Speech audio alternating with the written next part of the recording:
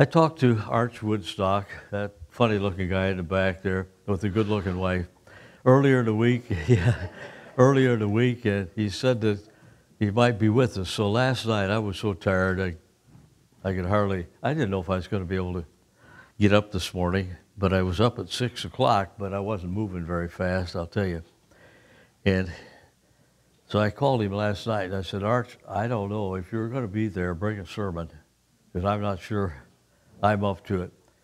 Well, I am, but Arch is here and I want to hear him. I was there at his ordination and I want to see if he's learned anything since.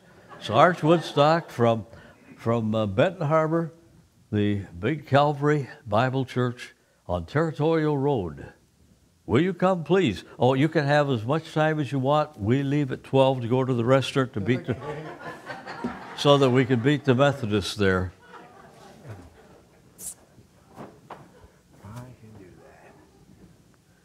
that. Thanks. Uh, two men have uh, been influential in my life, earthly men, in the last few years. I met one of them. I think you probably know him, Paul Deal. I met Paul when I was seven years old. He was one of my counselors when I was at uh, Good, Good uh, Christian Youth Training Camp at uh, Gull Lake. And then I had the privilege of meeting John just a couple years ago. Well, well, let me, let, let me get there, John. I didn't know. And uh, there have been times when, uh, you know, th- how things go, and I would make that telephone call, and he would pick up at the other end. Can we meet? And he said, "Yeah, meet you in Paw Paw," and we'd meet in Paw Paw, and he would we would go over some things, and uh, had a wonderful time, and uh, enjoy enjoy his friendship and fellowship. And uh, so, uh, just a little bit. My wife is here with me. Sandy, would you stand up? We've only been married for 48 years, so we're getting to know each other, and and so we're glad that she's here. And we have a, a, bunch of kids. We have a whole bunch. You know, we have three children, but we've got grandchildren. Like you, just like the, like the sands of the sea. I can't. I, every time I think I have them counted, somebody has another one, or they adopt someone. We've got nine, and my daughter has nine, and my, well, they're all over. But we have many, and so. But you know, 20 years ago, no, what, 93 or 94, we lived right over off Coon Hollow Road, and our son was attending uh, Three Rivers High School at the time and uh, then God took us south, and uh, we liked that. We were in Florida for quite a while, for a while, in some other states. But what really has impressed me about, and something I want to share with you before I get into the Word of God, is that God has never made a mistake in directing my life. I have made many, on the other hand, but God has always said, you know what, Arch, come here, come here. And so, uh, as I stand before you today, I'm one of those guys that I've got those things that have happened in my life that uh, were mistakes, things that I did that were outside the will of God. There was a time in my life when uh, I was a youth pastor in Kalamazoo Bible Church. Whoa, man, I was cool. And I had 40 kids in my group, and I had one time I had 800 kids come for a rally. And you know what? Arch Woodstock was doing it all, and the Lord was not allowed in. And he quickly taught, taught me that lesson.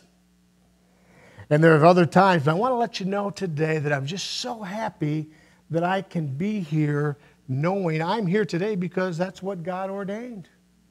You know, I, am and I've been praying so hard for John and for Mary, as you all have too. And so I, the, when, I, when he called me and told me what his plans were, you know, I just got, I, I cried. I love him. Again, I, I, don't know him that well. Maybe I shouldn't love him, but I, I do, you know. No, I, I, do. I know you folks do too. And so when you heard that news, that was the problem. Well, you know, Pastor, as we think about that, would you open your Bibles to Mark, the Gospel of Mark? And uh, we're, we're, we're done at 12? Are you kidding me? We'll be done at about 2.30 if everything goes well.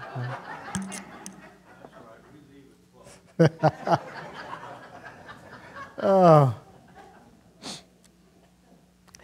and in Mark chapter 4 is where we're going to be. You know, Jesus has been teaching and he's been busy, and, and he, uh, I think he, this portion of the scripture is designed a lot for pastors. because sometimes we do things and when we get a call, and like John was saying, then the, you, well, you got to go to the hospital, and then there's something else that pops up. And, and like your life, our life is full of those things that we're not certain when they happened or why they happened. And Jesus knew those things, and he was teaching. he was, in, and uh, he was talking uh, to, to, to, the folks. And, and uh, as I want to read here, I want to read verse, start in verse 36. And we're just going to read through the end of the, cha- end of the chapter there. And when they had sent away the multitude, they took him, even as he, as he was, into the ship, and they were also with him other little ships. And there arose a great storm of wind, and the waves beat into the ship so that it was now full. And he was in the hinder part of the ship, asleep on a pillow. And they awakened him, and they said, Master, carest thou not that we perish? And he arose and rebuked the wind and said unto the sea, Peace, be still. And the wind ceased, and there was a great calm. And they said on, and, and he said unto them, Why are you so fearful? How is it that you have no faith? Our Heavenly Father, we thank you for this, this small portion of your word, Lord, that has such a great truth for us. Be with uh, us this morning as we look at it as we just take a few moments, Father, and, and see what you may have had prepared for us this morning. Lord, we thank you for this body of believers, and we pray that you are, even now, you have begun to work in the hearts of, of the ones that are here and the ones that will be here. And Lord, we pray that this time that, uh, that the pastor has, that you will give him this the peace of Jesus Christ and all that he does. In his name we pray. Amen. Now, there are many of us that at times when we've been walking through life and when you get that tap on the shoulder and you go, What? Oh, what, what was that? You know, I wasn't expecting that. Many of you, probably like me, about five years ago or so, I got that tap on the shoulder from a doctor that says, You've got cancer. I said, No, no, not me. No, I know a lot of other people that have cancer, but, you know, probably not me. Yeah, had cancer. You know, and that was one of those things surprised me. Oh, whoa, whoa. And, and then the, all the things that happened. We were sitting at our, in our home in Florida. I had the best, oh, if any of you ever aspire, young men, to be a pastor, I'll tell you the best pastorate you can have besides this church. I know John told me this is the best, but I was the pastor of the Korean, um, the English speaking pastor of the Korean American Baptist Church of Fort Myers, Florida. Now, let, think about that for a second, will you? palm trees, you know, 82 in January, you know, pools always nice, you know, congregation. They couldn't get enough of the Word of God. They kept saying, Pastor. I, we had Pastor Lee, wonderful Korean man, and he spoke very little English. He had the first generation Koreans in their building. And I had the second and third generation, and they would come to me and, Pastor, can you give us more of the Word of God? Can we study this? Can we study that? Oh, yes, we can. I loved it. You know, we got a telephone call from Michigan, our daughter, been diagnosed with cancer. Oh, man, seven children. Sandy left just as quick as we could get her on a plane and get her up here or whatever, however we did that. I was finishing up my treatment and, uh, and uh, then, I, then I came up and we got a little apartment over in Kalamazoo and then God did some other works. But, you know, there are times in our life when things happen that we just aren't ready for. We're not expecting them. Let's look at the disciples, shall we? In this, in this passage in Mark. Those disciples, I love them. I, I, I am Peter. I'm sorry. Oh, man, I get impetuous sometimes. I try to run ahead of the Lord. You know, I know none of you do that. You're all like John, aren't you? John the, John the disciple, not John the pastor. But uh, he just laid on Jesus. You know, remember at the, at the Last Supper, oh, Father, he's laying on, on the Lord's shoulders, there, reposed there, having the Last Supper. And, uh, you know, and, and when the disciples were saying, who's going to be the greatest? He didn't say anything, but he was thinking, I love him the best, you know. Like those of you that have kids, you know, you always, say, which one do you, no favorites, but, you know, we had the disciples, they're people just like we were. So when they had been working all day long and they, they'd, uh, Jesus had been telling about, you know, the, the parables that he'd been given, and they get into the boat and they're, and they're tired. And, oh boy, let's go. Let's get away from all of this. And they did. And they, and they verse 36 says, and when they had, had sent away the multitude, they took him, they're talking about Jesus, and as he was, and he went into the ship, and they were also with them other ships. So they went out onto the sea, and they've got the ships. And boy, those of you that are fishermen, or you know, those of you that have boats and like the boating thing, it's cool. You know, you get out on the water, and they're, they're probably out on the water, and they hosted the little sail. I've, I've got a really nice uh, DVD the Gaithers did of, uh, in, in Jerusalem, and they're out on the Sea of Galilee. And it's gorgeous. Oh, and they've got the little ship that they said is probably the type that Jesus was on. And this, you know, they put up the mast and the sail, little sail, and then, oh, what a neat, you know, and the disciples are probably thinking, oh, great. Oh, this is so nice. We got away from all of the work that we were doing, and this is calm, and, and we're, we're out here, and uh, oh no, verse 37. There's always a verse 37, isn't there? You know, I, I don't know. You always in your life you'll be doing something, then verse 37 comes along. And verse 37 says, And there arose a great storm of wind. And I don't know what your great storm of wind is, but we all have them. You know, from one day to the next, they may be littler storms, just little puffs, and some of them might be great storms, but we all have Mark 4 37 in our life. You will, won't you? And until Jesus comes again, that we're going to have those. And it says, And there arose a great storm of wind, and the waves beat into the ship so that it was full. And you've been there too, haven't I? I see some people, yeah, I've been there. My ship is full, Pastor. What can I, you know, I, I think I'm going to go down. Well, you probably would. No, no, we got to read more, don't we? I forgot. I was going to end now because it was really close to 12, but uh, I, th- I think I should probably go on a couple more points. And he, we're talking about Jesus, was in the back part of the ship asleep on a pillow. Ah. That just tells me so much about my Lord. He is never never shocked, never never startled, never taken unaware. He knew it was going to happen. You know what? Before I've been preaching, I've been preaching, and I've been teaching. I'm gonna, I'm gonna go back here on a. I love the way that Mark puts that. He was even on a pillow. I mean, there's no better. I, we were watching the commercials the other night for the Magic Pillow. You seen that one? Best pillow ever made in the world. And I, wow, Sandy, I want one of those. And she said, they look neat. Let's get two. And I went on there. They're a hundred dollars. I said, I like the pillow I have right now on my bed you know, and, uh, and I have it. And, but a pillow is so cool because a pillow, you just, you just you mold it, you know, to your head, you can turn it around. You turn it over in the hot, it's cool. I don't know how it does that. But you in the hot weather, you turn that pillow over. Whoa, it's cool on this side. And, you know, there is Jesus in the back of the boat on a pillow. And he is, you know, he's sleeping. He's not, he's, he's sleeping. He's sound asleep. Now, the sound asleep that Jesus was, was not the deaf ear that was turned to the situation that was going on. What was he doing? He was waiting for the disciples to say, What? We need you. Lord, we need you. It says here, as, we go down, it says, uh, Master, don't you care that we perish? What had Jesus done that would make anybody think that he didn't care? Not a thing. But I've said, I've said that to the Lord. I, I, my, our son one time was in an accident, a very severe accident, a brain trauma situation, and, and he was in the in, in Bronson Hospital or Borgess Hospital, Borgess Hospital, I believe, and he was in the neo intensive care unit, and he was a 13 year old boy that went back into the fetal position, like he was in his mother's womb because of the damage that had been done to his brain, and he began to grow out. You know, and I said that to the Lord, to my shame. Father, don't you, don't you care about my family? Do you care about my son? You know, he's in, he's in an. You know, you know where, my, where my son is? Jesus said, well, Of course I do. Of course I do.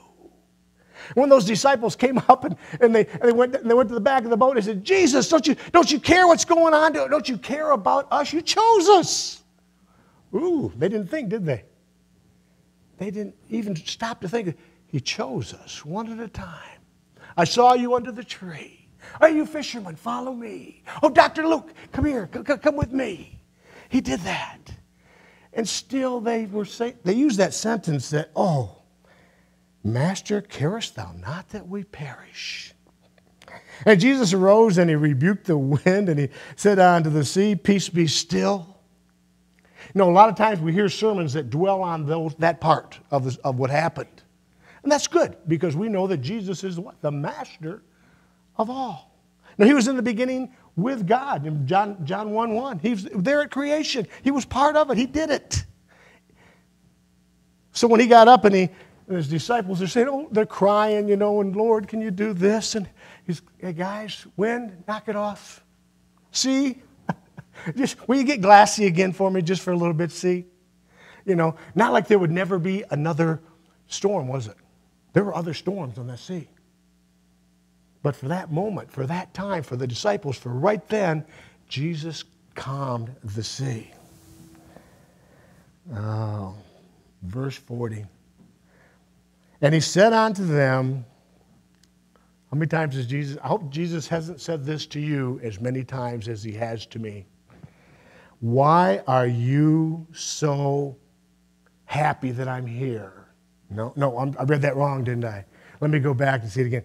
Oh, why are you so fearful? Didn't you watch the weather radar on your iPhone? He said to them. No, he didn't say that either. He just said, Why are you fearful? What, what's, if we were to say that today, we'd say, What's with you? What, what, what's going on? I'm right here. Do, do you see me? You know, they had that advantage. I'll give them that. Okay, they, they could see Jesus, but we find ourselves many times. Oh, I, I do. Sometimes when I called John, it was because of that. I was in a situation where I, I didn't like, and there were people that were doing things that I didn't, any long story short, I didn't like it. And I was fearful, and I called John. I prayed too, but after I had my time with John, you know what I would do?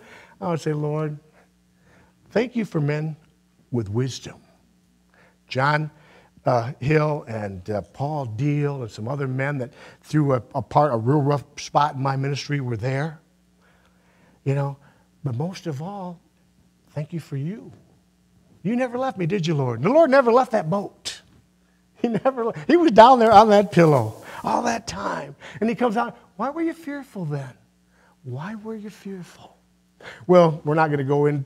We know later on what happened in Acts and how they became strong, but the other part was how is it that you have just a little bit of faith? Now I said, why is it that you have no faith? Boy, the Lord doesn't, He didn't, didn't uh, hold back at all, did He? Why is it you have no faith? I mean, He could have went to, to them and said, you know what, you guys didn't show, you showed very little faith here. Let me, give me a little, let me give you a little lesson on faith. No, he didn't say. He looked at him right in the eye. And some of you, I can tell by the way you're looking, you've had that experience when Jesus has looked you in the eye, like he has me, many times and said, What's wrong, Arch? Where's your faith? You don't show any. And I have to get on my knees and say, Boy, Father, I'm sorry. I am sorry. I don't. And I was, uh, just a couple weeks ago in my office, a situation like this came up, and I have found that uh, I can pray at my desk because I have a really nice soft chair. I do. It's kind of broken. It kind of tilts frontwards, but it's okay. It's, it's but it's soft and it's nice, and I can, I can lay on my desk, and I can pray, and my mind will begin to wander like you wouldn't believe, you know. But I found out that when I get down on the floor, that hard floor in my office, on my knees, you know who has my attention? God knows attention. I, I, I put all of my attention to Him. So that t- a few weeks ago, when I got down on my knees and I began to say, I think what the disciples probably said to our Lord soon after this, Father, forgive me. I was saying this for the lack of faith that I had in this particular area of my life. And he said to me, he said, Well, he said, uh, I'm going to have to kick you out of the ministry. I don't love you anymore. No, he didn't either. He put his arms around me he put his arms around me and he said, Archie, you know I love you. You know, I, I was just here on my pillow waiting for you to call me. I wanted to be involved in that. Jesus, if the disciples would, when the storm had started, this is just me, this is not in the Bible. Sometimes I do this, but bear with me just for a moment. If the disciples had said, Oh, hey, Jesus, there's a, there's a storm coming, you know what he would have done? He would have gotten, up, got up and been with them. because He comes the moment we call Him. There's never a time when you pray for the Lord to be with you when He says, Tomorrow I'll be around. Not going to be with you today, tomorrow. And if they would have said, Hey, Jesus, the storm's coming up, he would have come up and said, Oh, Peter, look at that. Look at that horizon. It's going to be a big one. It is. Yeah. You know what we should do? And he would, and they said, What is it, Lord? And he would direct, maybe would have directed him. That's again, that's just me. That's not, you don't find that in Mark. So, in conclusion today, because man, two minutes, now, a little after 12, okay. you folks are going through something that's a storm. Anytime a church needs to find someone else to be here, someone else to have that staff so that they can be the shepherd, someone else that the Lord has given them an opportunity to study the Word of God, to prepare their hearts, to give you the message that Jesus Christ would have for you, that's a storm. And don't think it's not. And it's a storm for, for Pastor Hill and for what he's going through. And so, what we need to do is remember two things, and they are very simple. Jesus is only sleeping on a pillow as long as you allow him to. And I know I can tell that you're saying, Pastor, we're, we're praying. You are. You've already said, Lord, you know, this is the storm. You know what's going to happen? The storm's going to cease. The storm is going to cease. Maybe not be tomorrow, maybe not, but the Lord is in control. And As long as you've asked Him to come up and be on, on deck with you through the storm, guess what? It'll, work out. It'll go. And as you look daily in your individual prayer, in your, in your communal prayers, and as you're getting together, and, and as you remember what the Lord said to them, why are you so fearful? You can say, Lord, I'm not fearful. I'm not fearful because, you know what? What did you tell me, Father? You said something about, oh, I am with you even until the end of the world, which may be soon, we hope. You know, but he, and you know, I'm, I, in, in John 14, you know, all of those. You know, I'm not fearful now, Lord. And, and uh, then it says, uh, How is it that you have no faith? And you can look and you say, No, the Lord's not going to say that to us as a body of believers. The Lord is going to look at this body of believers and say, Wow, well done, my group of good and faithful servants. You prayed it through. You sought my will. You looked high and low for the man that Jesus Christ would have stand here in front of you.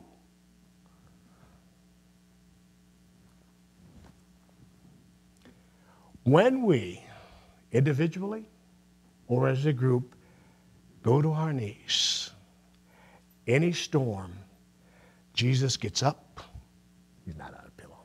He stands there with us. I like the picture, don't you, of the, of the storm and the, and the helm and the, the, they're at the pilot's wheel of the big ship, and there's a man trying to navigate it, and there's Jesus with his hand on his shoulder. Envision yourselves on that ship beginning the storm with the greatest co pilot in the world standing on your shoulder saying, This is the navigation that we need to take. This is the course that I want you to be on. And you say, Yes, Lord, yes, Lord, yes, Lord, yes. You have a song for, for closing, is that correct? You have Pastor does? I never ever do ever leave a pulpit without doing this, and as John comes, I'll do this because I don't know you. And I know that Pastor John does, and there may be some of you here today that are here without the knowledge of Jesus Christ as your personal Savior. And it would be so remiss of me if I didn't tell you this morning that if there's anyone here that has, and you're saying, What are you talking about? I'm not sure what this relationship with Jesus is all about. That's why God called me into the ministry so that I could be there when Jesus seeks. Luke 19:10. Jesus is the one that seeks and saves those that are lost, but we're here to show some of the things that God would have for you from his word that would lead you to Jesus. So if there's anyone here this morning that has not that knowledge of Christ, just talk to the pastor, talk to myself, probably many others in this congregation, and uh, you can uh, have that uh, wonderful, wonderful joy of walking with Jesus daily. Pastor? Thank you, sir. Would you take